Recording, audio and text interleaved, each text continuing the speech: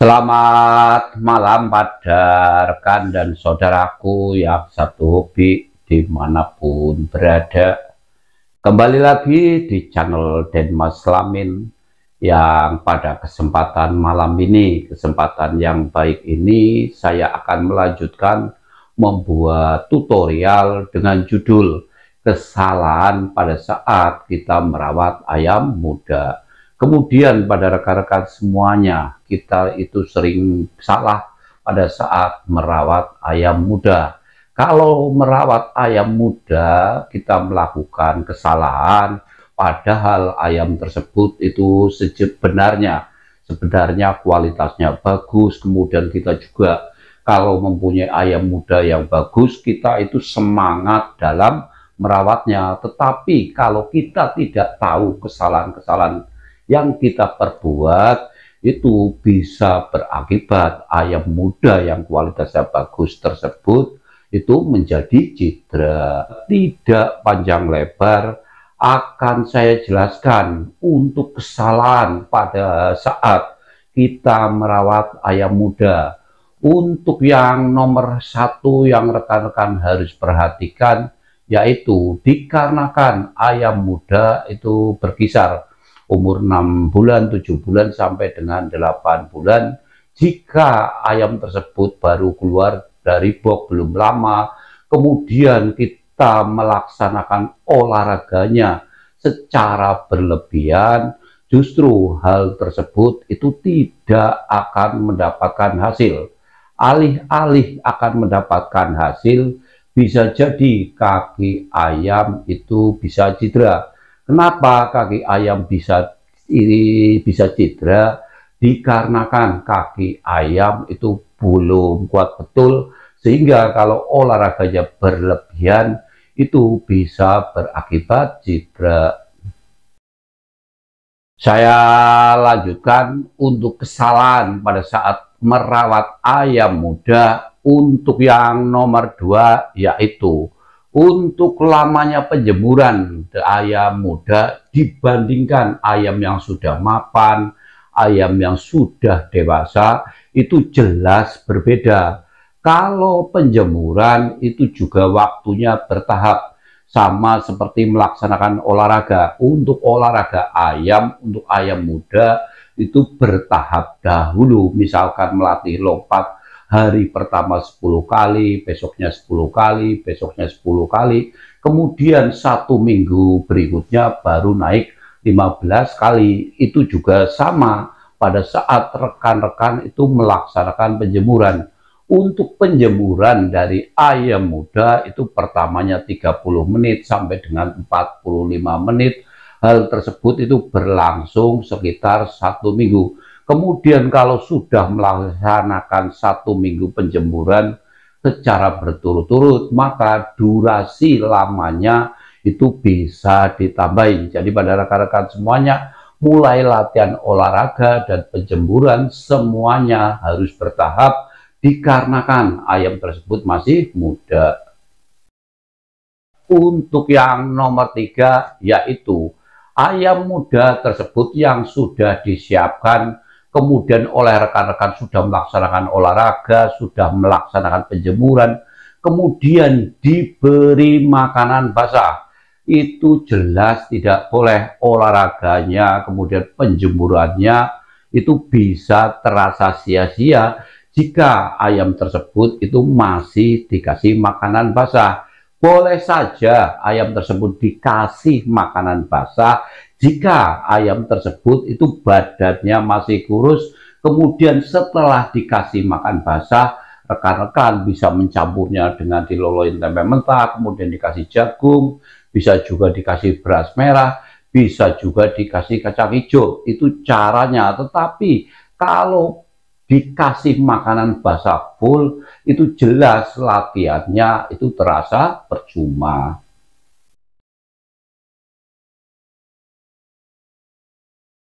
Untuk yang nomor empat yang harus rekan-rekan perhatikan yaitu karena terkadang ayam kita memang kualitasnya bagus, kita itu tidak memikirkan mau diabar dengan ayamnya siapa ataupun besarnya seperti apa, umurnya seperti apa.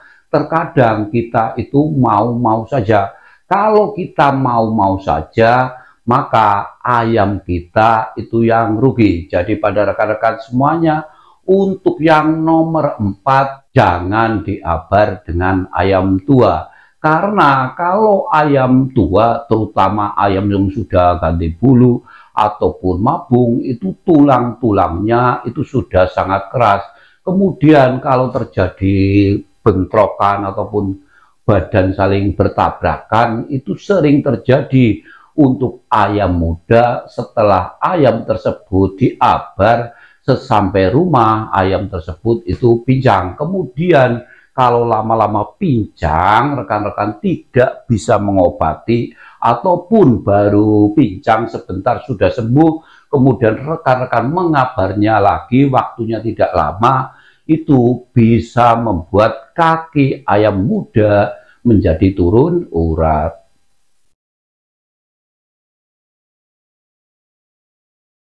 Untuk yang nomor lima yaitu untuk jarak untuk mengabarnya rekan-rekan itu terlalu dekat. Mentang-mentang ayam kita kualitasnya sangat bagus, kemudian hari Minggu kemarin sudah diabar, kemudian hari Rabu karena diabar hanya 10 menit saja, hari Rabu kembali diabar, kemudian hari Minggu berikutnya itu diabar lagi.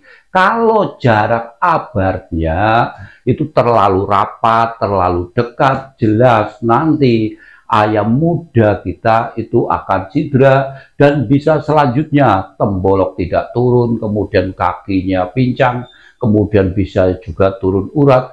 Hal tersebut jelas merugikan ayam muda kita. Saya lanjutkan kesalahan-kesalahan dalam merawat ayam muda yang berikutnya itu kita sering juga meremehkan. Itu tidak boleh, yaitu untuk yang nomor 6 walaupun kita mengabarnya hanya sebentar, walaupun hanya dengan milik kita sendiri, tetapi yang harus rekan-rekan perhatikan adalah keamanan dan keselamatan ayam yaitu untuk jalunya harus dibungkus itu sifatnya wajib. Kalau tidak dibungkus itu hal yang tidak diinginkan. Hari apes itu bisa saja datang kapan saja. Untuk itu walaupun mengabarnya hanya sebentar walaupun ayam tersebut ayam muda justru hal tersebut harus dibungkus agar ayam kita aman.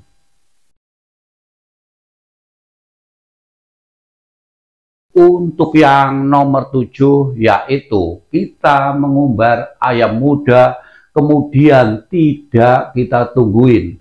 Kalau mengumbar ayam muda sebaiknya ayam muda tersebut kita tungguin jangan sampai ada ayam kampung yang datang ataupun dicampur dengan pajak walaupun hal tersebut sudah kebiasaan tetapi bisa saja berakibat mental ayam muda itu akan turun.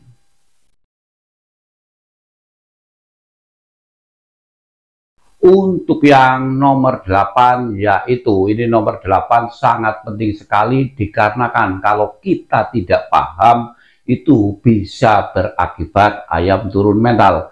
Terutama ini rekan-rekan pada saat menjemur ayam itu sangat penting sekali. Sebelum sebelum rekan-rekan mengambil ayam dari kandang, sebaiknya tempat tersebut dibersihkan. Kemudian setelah tempat tersebut dibersihkan dari bebatuan, rekan-rekan itu ambil ayam muda dahulu. Jangan sampai mengambil ayam yang lebih tua. Kalau mengambil ayam tua, terkadang ayam muda tersebut bisa turun mental.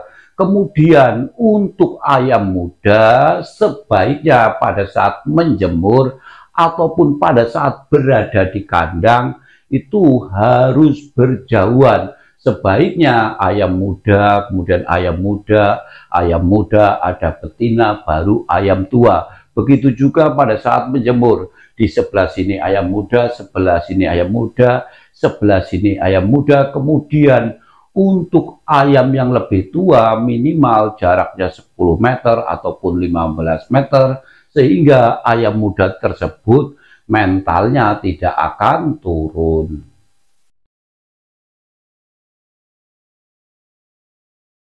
Untuk yang nomor 9 yang rekan-rekan harus diperhatikan sudah saya anjurkan untuk memberi makan 594 agar badan ayam juga bagus kemudian diloloin tempe mentah.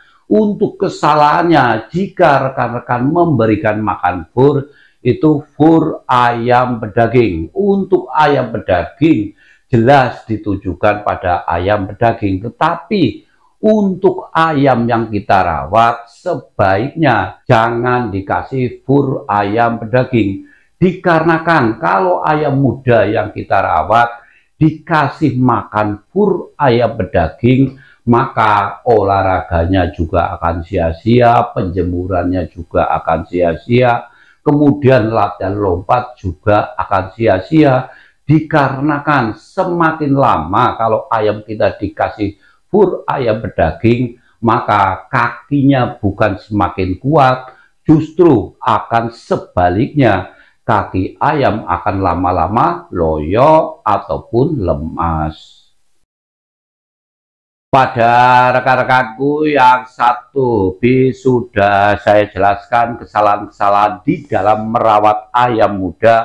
Tadi untuk yang nomor satu jangan melaksanakan olahraga berlebihan kalau melaksanakan olahraga berlebihan, kalau melaksanakan olahraga itu harus bertahap. Kemudian untuk penjemuran itu jangan terlalu lama, juga harus bertahap. Untuk yang nomor tiga, yaitu tidak boleh ayam muda dikasih makanan basah. Boleh saja dikasih makanan basah, tetapi harus dicampur makanan kering seperti jagung, kemudian beras merah, kemudian fur 594 ataupun kacang hijau itu juga boleh. Kemudian untuk yang nomor 4 tidak dianjurkan untuk ayam muda itu diabar dengan ayam tua dikarenakan tulangannya itu sangat keras. Kemudian untuk yang nomor 5 yaitu durasi waktunya pada saat ayam tersebut mengabar jangan terlalu dekat hari ini sudah diabar kemudian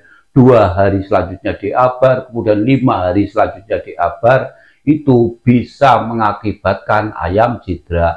Untuk yang nomor 6 yang tidak kalah pentingnya pada saat rekan-rekan mengabar ayam, untuk jalu ayam harus dibungkus walaupun hal tersebut itu hanya sebentar. Kemudian untuk yang nomor 7 pada saat mengumbar ayam muda harus ditungguin, tidak boleh dicampur dengan pajak ataupun dengan ayam kampung tetangga. Hal tersebut itu bisa mengakibatkan ayam muda menjadi turun mental. Kemudian untuk yang nomor 8 yaitu pada saat penjemuran seharusnya ayam muda dengan ayam tua itu dipisahkan begitu juga ya berada di kandang.